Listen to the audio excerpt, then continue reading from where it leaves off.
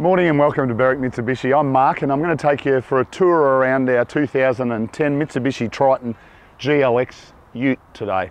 We'll start at the front of the car and uh, just highlight the fact that um, even for a 2010 virtually unmarked the duco. If I wanted to be really particular, a couple of really minor touch-ups, um, I'd have to get this close to even be able to see them. Um, virtually, virtually unmarked, which is uh, a, a really good example of it. And we move around down to the driver's side of the car now and presents in very similar order. Uh, the duco virtually as new, uh, struggle to find a scratch or even a little dint anywhere on the car. Important to note that it does have factory steel wheels, so being a 4x4, uh, it's set up so it's ready to go off-road. Um, you know, rather than having alloy wheels where in the event you're in some really off, rough off-road stuff, um, you don't risk a fracture in the alloy because uh, you just got the steel wheel.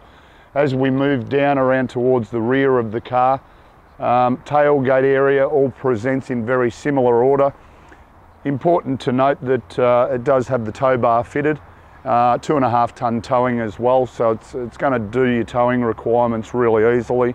All of the chrome badging through the tailgate as well. It is the GLX and 4x4, so uh, important to note that, uh, yeah, certainly ready to go off-road for you as well.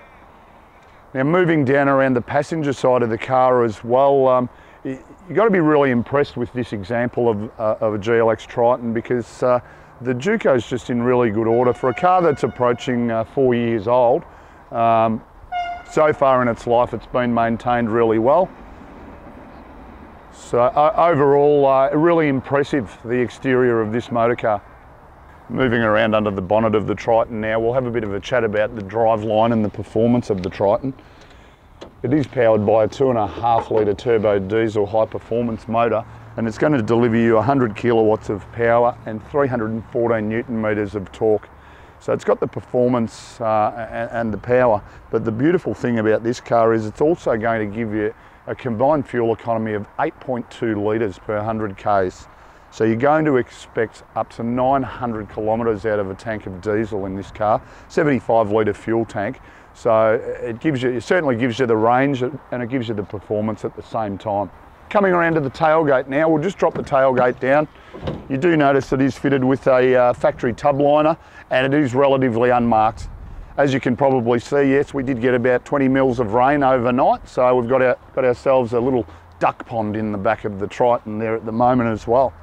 So uh, just condition wise, just as far as the exterior goes and in the back of the tub there, you, you, know, it presents consistently that it's been really well maintained so far in its life. So now we move to the interior of the Triton and we'll just run through uh, all of the features of the car. We'll just turn those wipers off. Uh, we'll start on our driver's armrest and we've got all our controls for our power windows. Uh, you can also isolate the uh, other windows um, and just prevent passengers operating them up and down if you wish. Um, do note over below our air conditioning vent, just on the right hand side, we have our controls for our exterior mirrors, uh, power mirrors left and right, so we can adjust them from there. Then our steering wheel is height adjustable. As you can see, I can set myself up where I'm really comfortable. Um, you know, give yourself a really good view of all of the gauges so that uh, you can see what's happening. On our steering wheel, you'll also note we do have the factory settings for cruise control. Um, so all fairly straightforward. I mean, the Triton was designed as a, a bulletproof off-roader or tradies ute, so simple setup, but uh, you've got everything you need. Moving into the center console section now, you notice we've got a double DIN head unit. So it does have CD with MP3 compatibility. We do have our USB and auxiliary inputs as well um, and uh, you can basically just set up all your music through there. Moving down into the center section now, you do know just at the front there, we've got a 12 volt outlet, five speed manual gearbox and 4x4 as we mentioned earlier. So uh, just that uh, 4x4 option coupled with, as we mentioned earlier, the steel wheels, it's set up ready to go off-road um, and they're a bulletproof off-roader as well. We just have our handbrake back to the uh, rear of the gear stick. We've got our cup holders there as well. And then just our little storage compartment in there for all your goodies. Fairly good sized storage compartment as well. Important to note while we're going around the interior of the car, the condition of the, uh, the interior, the seats, obviously vinyl flooring being a 4x4, so when you're in those muddy off-road terrain, you get dirty inside, it's just a matter of hosing out the interior. Um, but you know, for a car that's done 109,000 k's, which of course is nothing for a turbo diesel, um, just the way the car's been maintained so far in its life is really impressive. And that leads me to the service books. Um, it was a company owned car, and part of the reason this car presents so well inside and out is, is due to the history.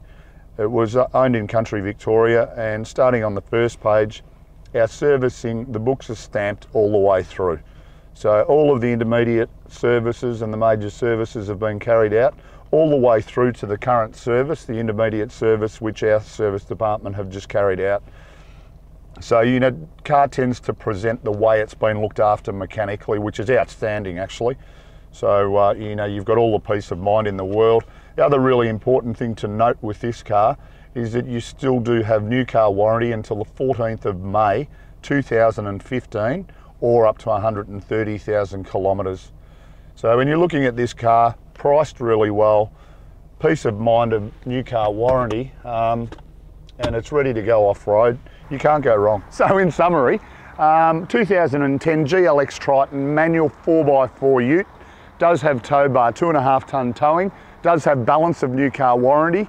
Um, everything about these, they're a bulletproof off-roader, or if you're going to use it as a tradies ute, you can't go wrong. Super reliable car. Hope this gives you a really good idea of the quality of our car. Feel free to give us a ring, 9907 0555.